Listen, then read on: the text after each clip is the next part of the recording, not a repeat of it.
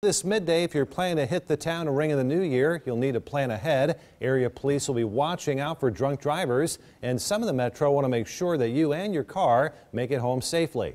KMTV Action 3 News reporter Shantae Passmore has all the details. With the new year almost here, celebrations are bound to happen. But some in the metro say two things don't mix well together, and that's drinking and driving. Planning to party New Year's Eve?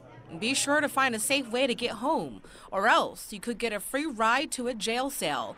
While area police patrol the streets looking for drunk drivers, there are others also looking for such drivers. If you feel buzzed, that's drunk driving. Earlier this year, AAA Nebraska launched Tow to Go. If they're in Omaha and Lincoln, they'll receive a complimentary ride home and their vehicle is towed home. To encourage responsible drinking, Budweiser is a part of AAA's program.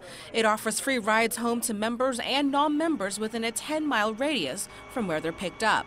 Then there's the Safe Ride Home program. The rules are pretty simple. Uh, you got to be going home. Today on the Morning Blend, attorney Steve Lathrop swung by to talk about the 26 year old program. His law firm picks up the cab fare. It has to be in Douglas or Sarpy County.